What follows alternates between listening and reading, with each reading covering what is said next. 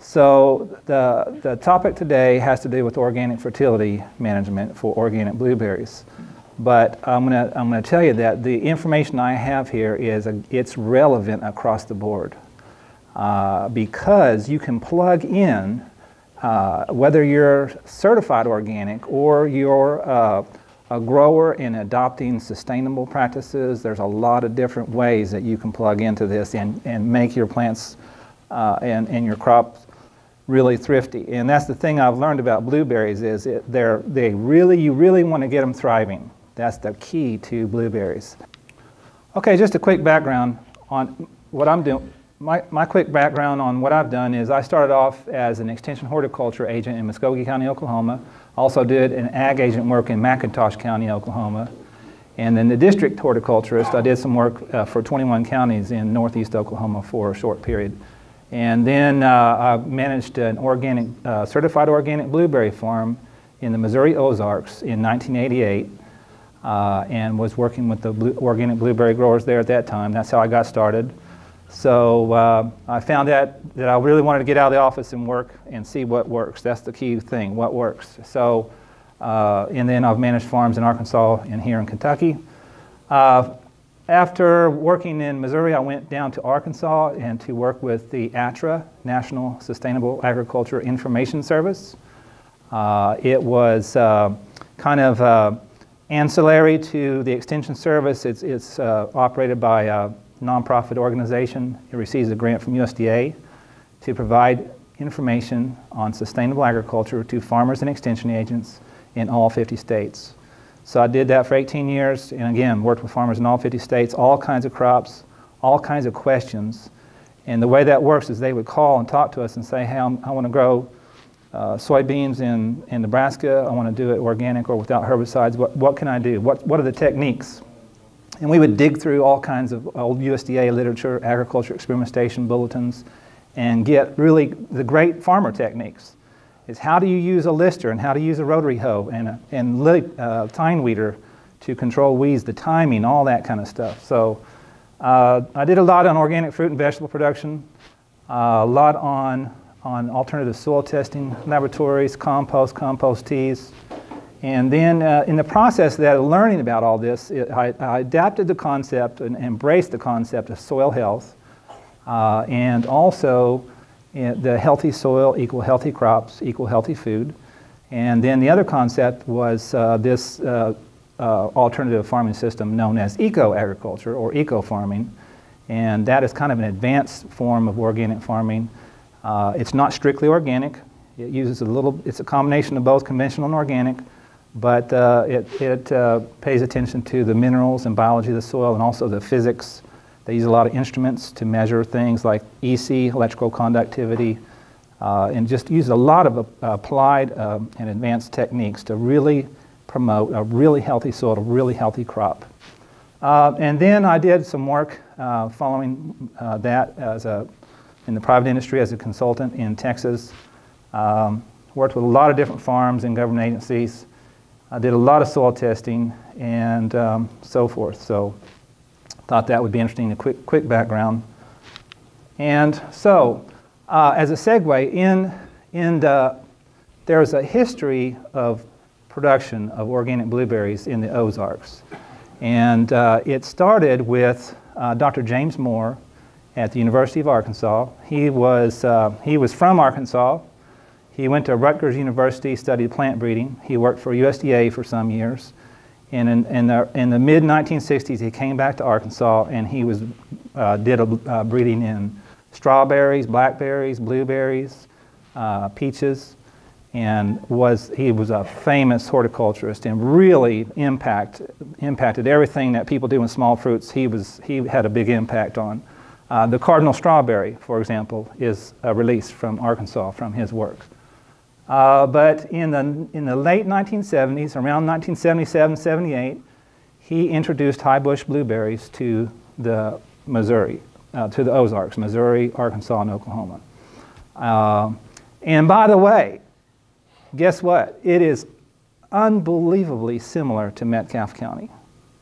The, the Ozark conditions and the scenery, the whole thing, karst topography, underlaid by, underlaid by limestone, highly weathered soils that are now uh, low, low levels of fertility and, and becoming more acidic, uh, fescue pastures, pH is dropping down to 5.5 and, and, below and so forth. Uh, so really similar conditions.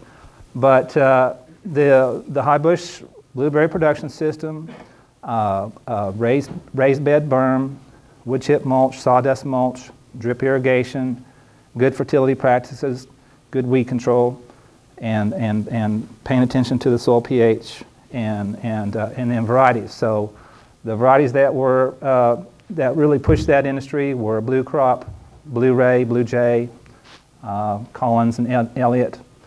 Uh, so, uh, and, and in fact, that's, that's what I plugged into, although I, I went with uh, an organic system because that's the farm I was managing, I was doing. So the other thing is there was from the early 1980s to the late 1990s was a, an, a growers organization, UGA, Ozark Organic Growers Association, and it had a cooperative warehouse that uh, pooled the berries and, and uh, sold them into the wholesale chain. And Arkansas had a real interesting marketing window. The, the crop came in at a certain time before, for example, the New Jersey crop or the Michigan crop. And they got a really good price per flat. And so this, this industry really took off for years. A lot of growers did this and, and made a living. Uh, they did educational meetings, field days, they had a newsletter, they did organic certification. And I'm talking about, I was doing this in 1988, long before USDA was involved in certification. There was already uh, certification happening amongst the different states by these private growers associations. And so, um, and an interesting thing in that time when they came and did the certification, they would also provide consultation. So it was kind of farmer to farmer exchange. Uh, and uh, however, that changed when uh, USDA got involved. They said you cannot provide consultation at the time you're doing certification. Uh, but um, there was all these different groups.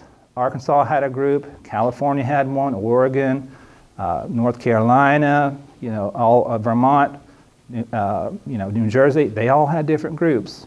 And in fact, the reason that the USDA National Organic Program came into existence is because some groups had slightly varying uh, guidelines and standards, uh, and so they tried to, uh, they, they thought it would be really beneficial to, to mer merge all those together into a national program. So that's how that came about. But just a reminder that organic production and certification was totally on the ground and working years and years and years before USDA got involved. So it's not new and plenty to learn from. So, as an example, this is the uh, uh, publication from ATTRA that myself and another guy who worked with me, another specialist who also did organic production of blueberries, we put this publication together. I think we first published that in 1995, and uh, I think it was last revised in 2004. Uh, they just don't have enough staff to keep up with this, but uh, so there is some uh, good information on in there. It's online. It reviews some of the practices that we did, uh, for example, in Arkansas, uh, Missouri, Oklahoma, peat moss in the planting hole, feather meal, cottonseed meal, foliar feeding, a lot of those things that you can, you can use in organic production.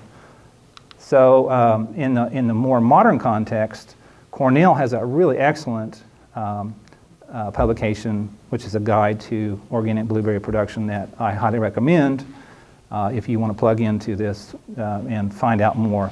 It's more up to date, more thorough. Uh, it's published by the Extension Service, so they have more resources to put into it. It's, it's very good.